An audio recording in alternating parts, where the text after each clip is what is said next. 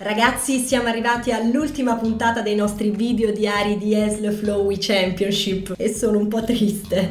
È stato davvero molto interessante raccontarvi e farvi raccontare da Luigi varie sfaccettature del mondo gaming. Grazie a Eslo Flowy Championship e agli sforzi di un'azienda simile, il mondo dei videogiochi è davvero un posto migliore, vero? Esatto, perché l'argomento di oggi è proprio questo: videogiochi e finanza e in particolar modo come un passatempo per bambini è invece invece diventata un'industria così importante in grado di attirare capitali non provenienti strettamente dal mondo gaming. Oggi come oggi banche, brand di moda, squadre di calcio o colossi della tecnologia hanno deciso di investire nel mondo dei videogiochi. Quindi qualcosa che inizialmente era considerato nerd e da sfigati, oggi invece è considerato cool e ha una fortissima attrattiva sulla cosiddetta generazione Z, cioè noi, i giovani. Visto che oggi parliamo parliamo di lavoro, ho deciso di mettermi comoda con il mio Skype. E andiamo a chiamare, indovinate chi, proprio lui, il nostro amico Luigi, e vediamo un pochino se sa qualcosa di finanza e videogiochi, anche se dubito ci sia qualcosa in ambito videoludico che lui non conosca.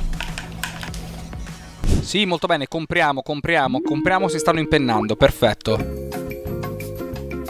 Crescita costante, economia in salita no, quelle vendiamo, vendiamo sono fuori tendenza. Assolutamente. Scusate, ho una chiamata sotto, vi richiamo subito, perdonatemi. Oh, ciao Antonella. Luigi, sei in ritardo. Avevamo la colla alle 11, sono le 11.05. Lo sai che sul lavoro bisogna essere perfetti. Sì, scusami, stavo ultimando il PPT che volevo mostrarti proprio adesso, anche perché oggi, non so se lo sai, si parla di qualcosa di molto serio, si parla di soldi. Ora, soldi, non proprio. Diciamo che volevo sapere come i videogiochi sono passati da essere passatempo per nerd a conquistare il mercato di massa.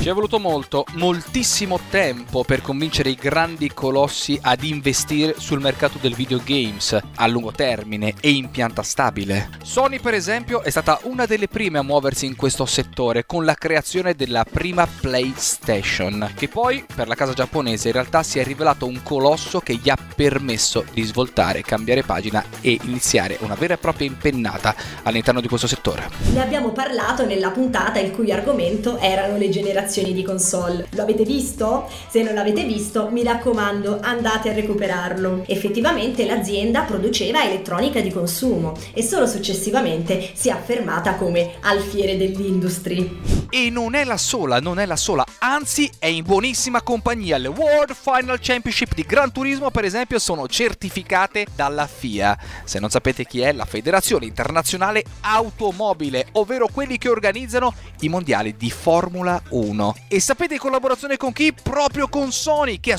supportata e sponsorizzata da Toyota, Michelin, Mazda e tanti altri brand automotive, che hanno deciso di investire le loro finanze proprio nel mondo del videogame game. Come la stessa Eslo Flowy Championship, no?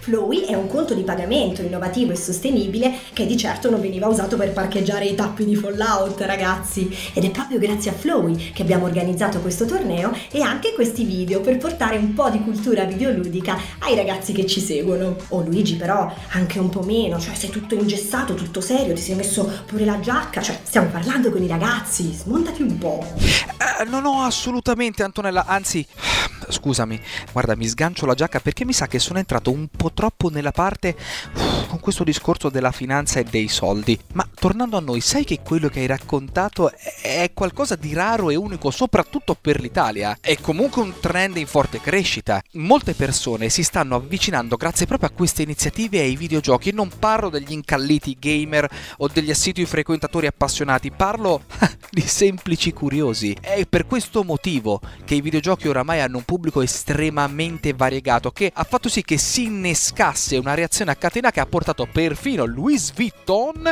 a costruire il trofeo di una finale mondiale di un videogioco.